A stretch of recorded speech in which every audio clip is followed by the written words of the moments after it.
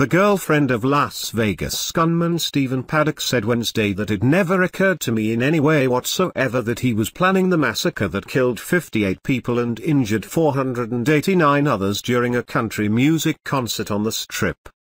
I knew Stephen Paddock as a kind, caring, quiet man, Marilou Danley said in a statement read by her attorney outside FBI headquarters in Los Angeles.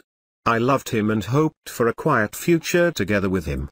He never said anything to me or took any action that I was aware of that I understood in any way to be a warning that something horrible like this was going to happen.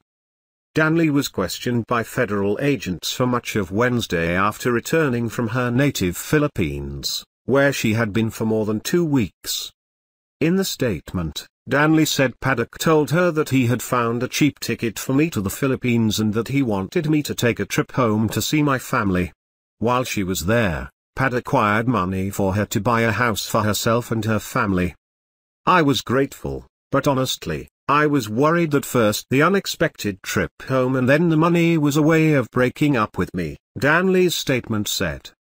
Paddock wired $100,000 to the Philippines days before the shooting, a U.S. official not authorized to speak publicly because of the continuing investigation told the Associated Press on condition of anonymity. Investigators are trying to trace that money.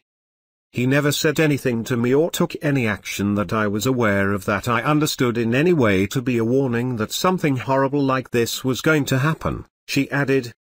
Danley, 62, has been called a person of interest by investigators.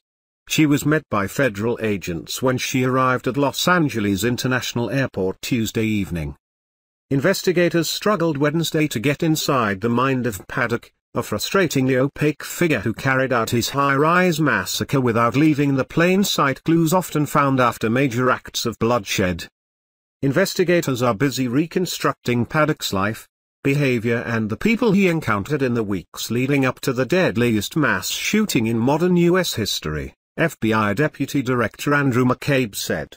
That includes examining his computer and cell phone. But as of Wednesday, investigators were unable to explain what led Paddock to rain heavy fire down on a country music festival Sunday night from the windows of his 32ND floor room at the Mandalay Bay Hotel Casino.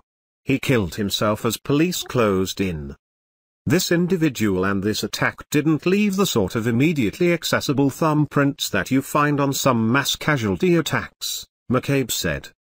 The 64-year-old retired accountant quietly stockpiled an arsenal of high-powered weapons while pursuing a passion for high-stakes gambling at Nevada casinos, where his game of choice was video poker, a relatively solitary pursuit with no dealer and no humans to play against.